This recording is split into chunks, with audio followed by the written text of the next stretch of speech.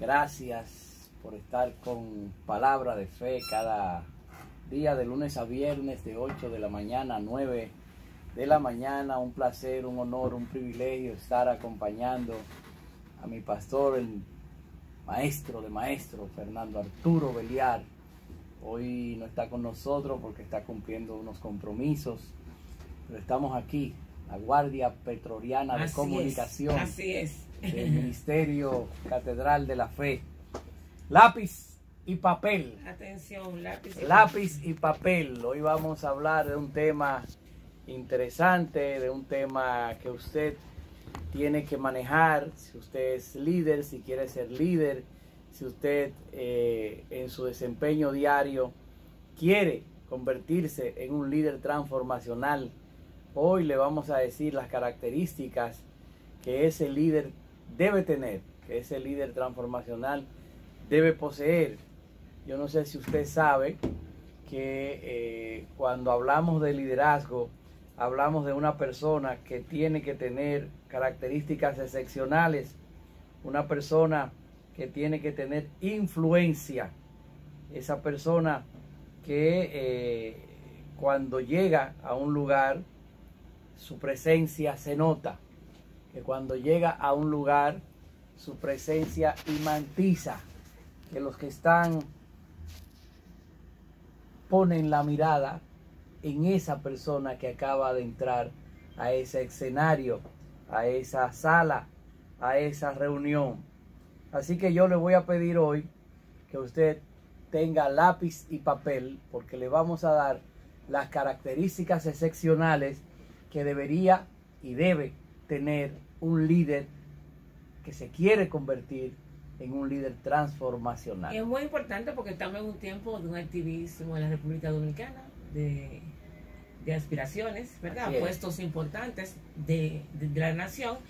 Y si usted está aspirando a un cargo de esos, si la comunidad usted lo ha elegido para aspirar a un cargo, es muy bueno que usted esté atento a esto que don Mariano va a decir, pero también si usted pertenece a un club, si usted pertenece a una iglesia, si usted pertenece a cualquier institución, esto es una, es una lección para usted. O si usted está ejerciendo liderazgo en su casa, en su hogar, en su familia, así es. en su congregación, pues usted tiene que saber estas características y tenga a mano lápiz y papel para que usted vaya anotándola y luego cuando terminemos, entonces usted haga una lista de chequeo cuáles de esas características yo tengo y cuáles de esas características necesito desarrollar.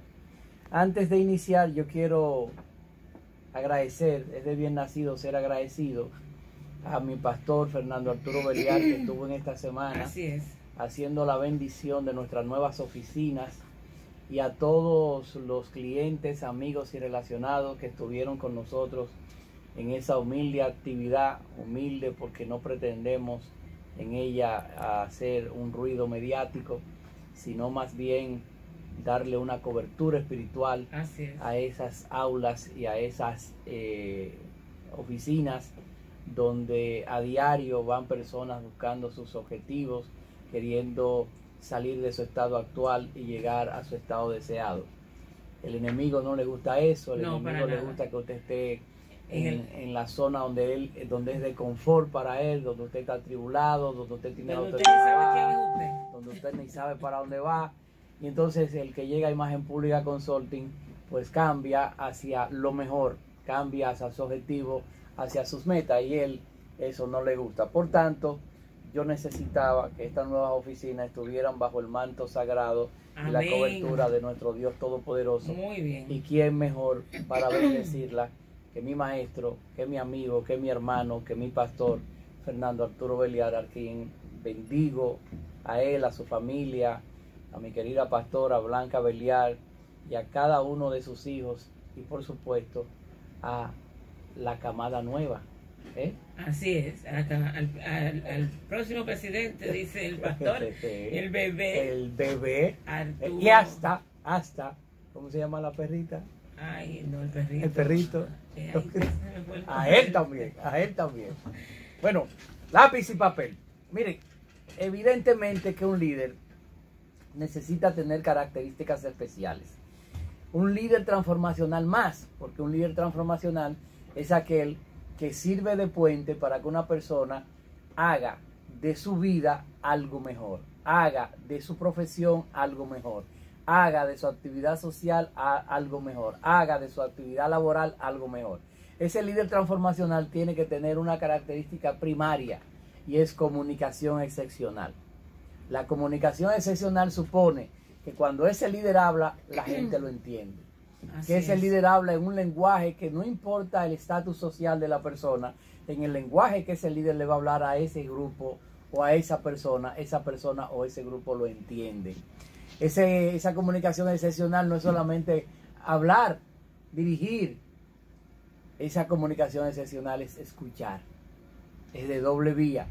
Y los líderes excepcionales, los líderes transformacionales, escuchan más de lo que hablan.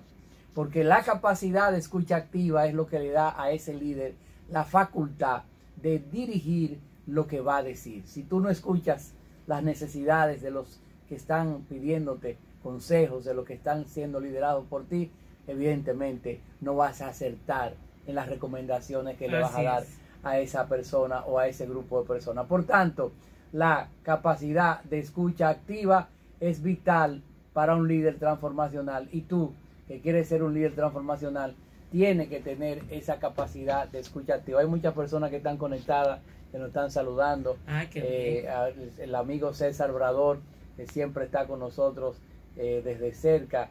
Eh, amigos desde la diáspora de Estados Unidos, de España, gracias por estar con nosotros.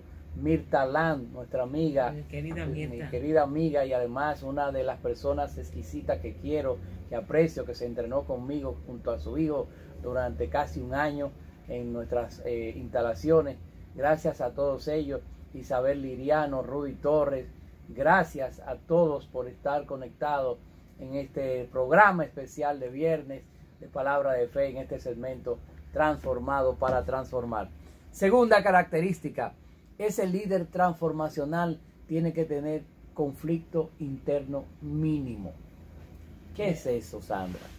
El conflicto interno mínimo supone que ese líder cuando tiene que tomar medidas que cuando tiene que tomar decisiones no tiene hard feeling, como dicen los gringos. No se aprieta, como decimos en los barrios.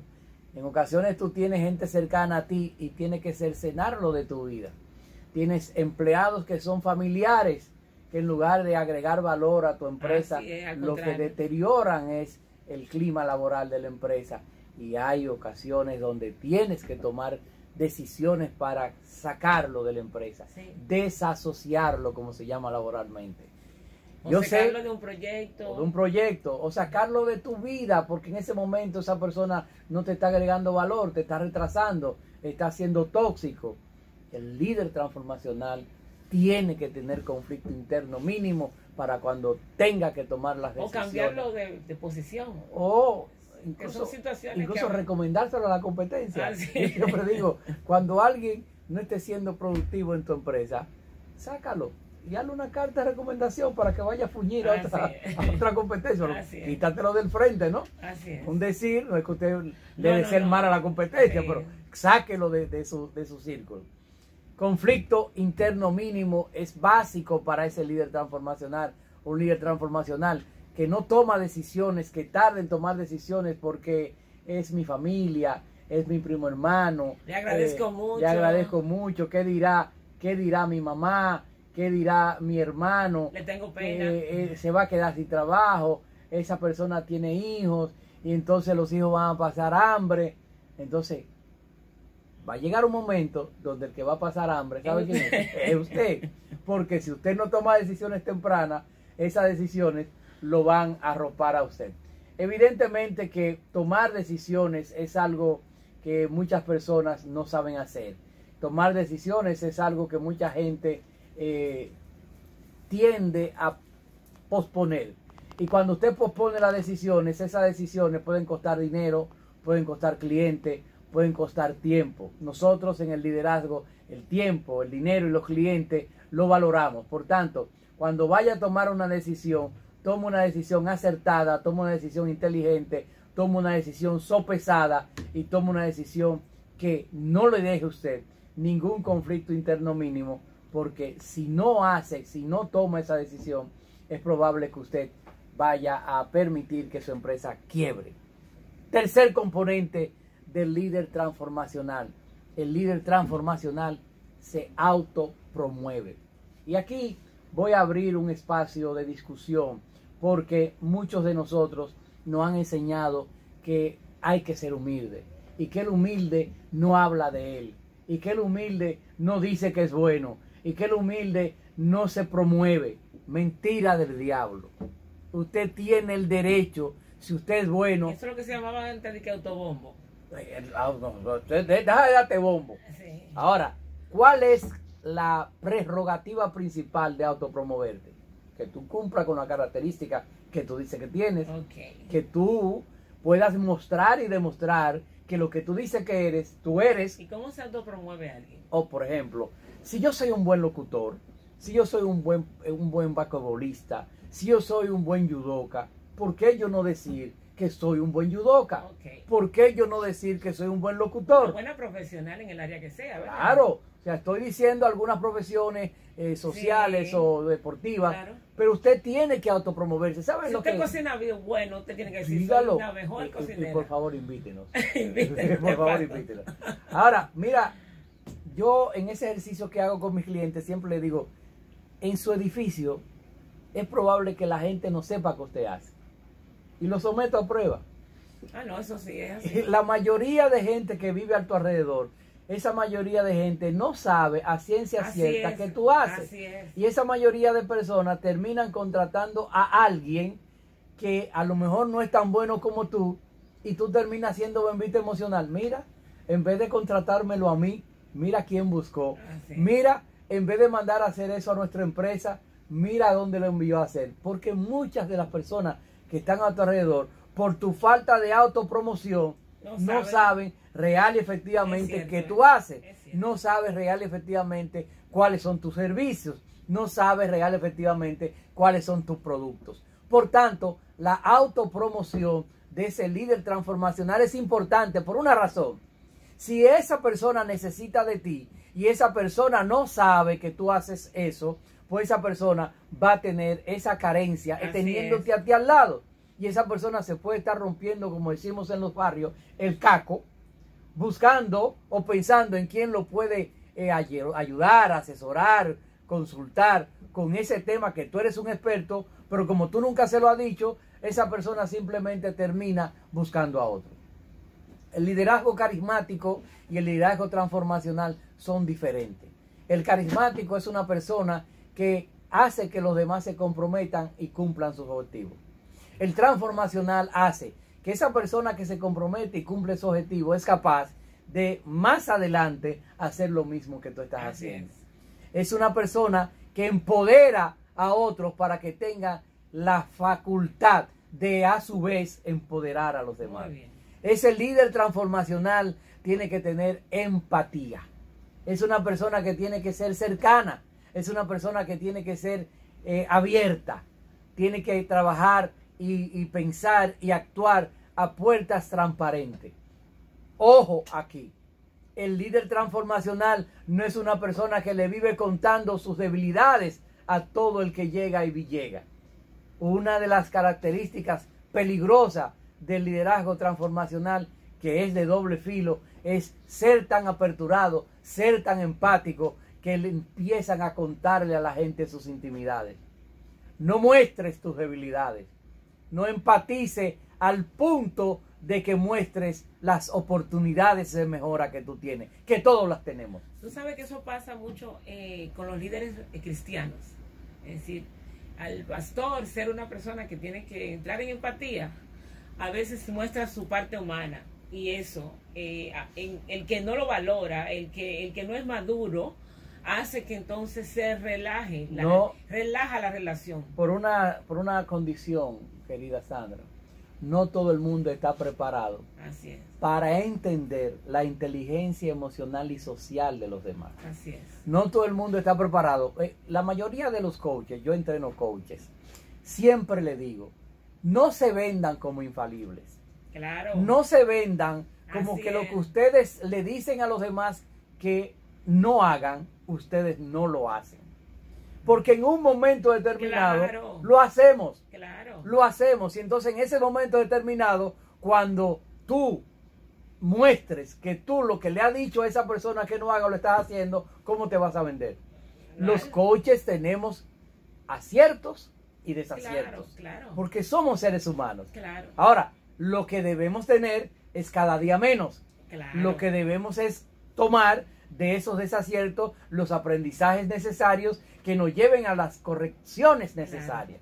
Entonces, usted en cualquier punto del liderazgo que se encuentre, sea un pastor, sea un, líder eh, religioso, sea un líder social, sea un líder empresarial, tenga mucho cuidado con aperturarse de tal manera que los demás vean, sientan sus debilidades.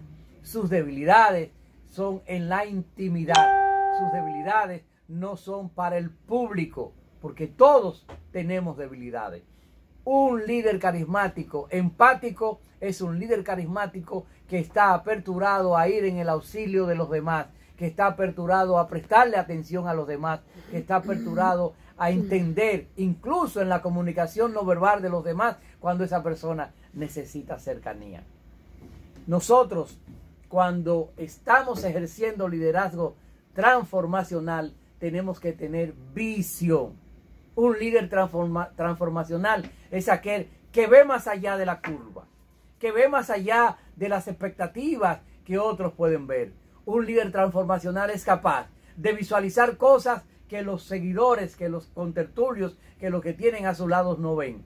Por eso esos líderes transformacionales son gente que hacen cambios, cambios drásticos, cambios transformacionales, cambios para siempre. Detectan oportunidades, detectan en algún lugar cómo ese pequeño cambio puede generar un gran cambio. La visión del líder transformacional es importante porque esa visión hace llevar al líder a caminos y alturas que muchos no han pensado. Si usted está ejerciendo liderazgo, tiene que saber que usted es un influencer. Usted influye en los demás. Su comportamiento, créalo usted o no, va a hacer que personas se comporten como usted. Así es. Créalo usted o no, usted tiene fan. Y esos fans van a imitar su comportamiento emocional, su comportamiento social, su comportamiento profesional. Perdón. Por tanto, ese líder transformacional tiene que tener cuidado en cómo actúa. A veces, cuando entreno marcas personales, me dicen, señor Mariano, pero yo no soy un artista. A mí no hay paparazzi detrás. Y yo le digo, tienes un error. Porque siempre tenemos personas que nos observan. Siempre tenemos personas que están pendientes de lo que hacemos. Siempre tenemos francotiradores. Algunos para copiar nuestros comportamientos y otros para criticar nuestros comportamientos. Entonces yo quiero que usted sepa que usted como líder transformacional va a tener francotiradores. Va a tener personas que van a estar pendientes de lo que usted hace. Mira cómo se viste Mira cómo camina. Mira, cómo come. Mira cómo ora. Mira dónde entra. Mira dónde va. Mira lo que hizo. Personas que le van a estoquear, o sea, a ver, a visualizar, a investigar sus redes sociales. Así es. Mira lo que publica. Mira dónde estaba. Porque como líder transformacional, la gente va a estar pendiente, pendiente. de usted. Es bueno que usted sepa que un líder transformacional tiene que tener lo que nosotros llamamos don de gente. Ese trato afable, ese trato humano, esa cordialidad, también requiere conocimiento, requiere entrenamiento, requiere que usted dome sus habilidades blandas. ¿Cómo es usted a la hora de abordar a las personas? A veces me dicen, Sandra, señor Mariano, yo soy tímido. Y cuando analizo el caso, la persona no es tímida, Sandra. La persona no tiene capacidad de abordaje. Porque una vez que la persona arranca el tema o arranca la, conversación, hay que frenarlo. Entonces no es tímido. Es que hay personas que no están entrenados para aperturar conversaciones, para acercarse a las personas y decir, hola, buenas tardes, soy Luis Pérez. Ese, un placer. ese, primero, ese abordaje, esa, esa ruta inicial donde frena a esa persona e impide que esa persona conozca a esas personas que Dios le puso delante, que no es casual que Dios te ponga una persona en un ascensor, que Dios te ponga una persona en una fila de banco, que Dios te ponga una persona en un lugar donde tú incluso no pensabas estar ese día. Y tú, por no abordar a esa persona con un saludo cordial, con una pregunta casual, con un discurso al ascensor. ¿Qué es eso? El discurso al ascensor es una especie de frase, como si fuera un tweet, donde usted se presenta de manera que llame la atención. Por ejemplo, yo soy consultor de imagen pública, yo soy coach, yo soy comunicador. Pero si yo me presentara y le dijera a una persona, yo soy coach, yo soy Mariano Abreu, coach de imagen, coach personal. Ah, qué bien. Eso es lo que más me va a decir. Sin embargo, mi presentación no es esa. Cuando yo me presento le digo, hola, ¿qué tal? Soy Mariano Abreu y me preguntan, ¿y qué tú haces? Yo apoyo a las personas a crecer emocional y profesionalmente. Excelente. ¿Cómo? ¿Y cómo tú haces ¿Y eso? Cómo es eso? E inicia la conversación. Así que si usted es profesional, sea abogado, sea odontólogo, lo que sea, empiece a diseñar su discurso al ascensor. Si usted quiere más información sobre esto, vaya a nuestra página web, marianoabreu.com. Hay artículos. Vaya a nuestro canal de YouTube, Imagen Pública TV. Ahí hay videos, hay cápsulas, cientos de cápsulas. Hay conferencias completas gratuitas para que usted se eduque. Pero recuerde lo más importante, que el domingo, el domingo a las 10.30 de la mañana, en la calle F, esquina H, zona industrial de Herrera, el pastor Fernando Arturo Beliar, frente a frente al destacamento de los bomberos de Santo Domingo Este, lanza fuego.